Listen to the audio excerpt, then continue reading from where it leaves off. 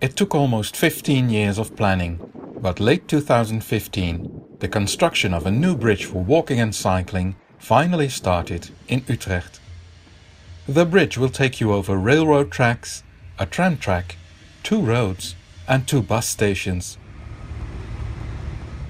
Construction started with cranes placing the bridge's legs.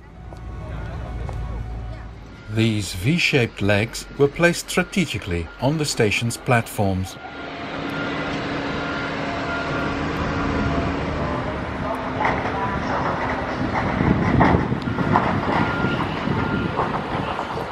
The bridge deck parts were shipped to this location and huge cranes placed them on the legs.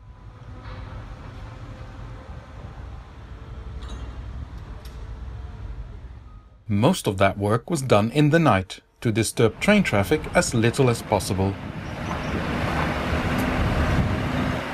That meant that on any given morning the bridge could be much longer than the day before.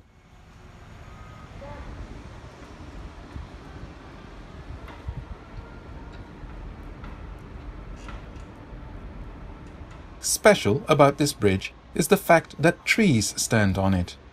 These trees were specifically grown for this bridge in shallow boxes.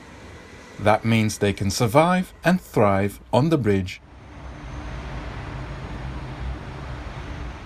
On the first half of the bridge, the trees were placed when the bridge was already at its final location.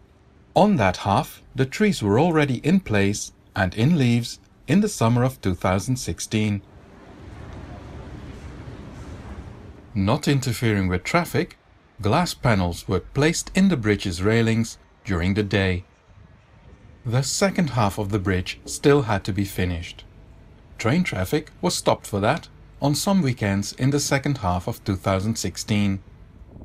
The trees on those final bridge decks were already planted before they were in their final location.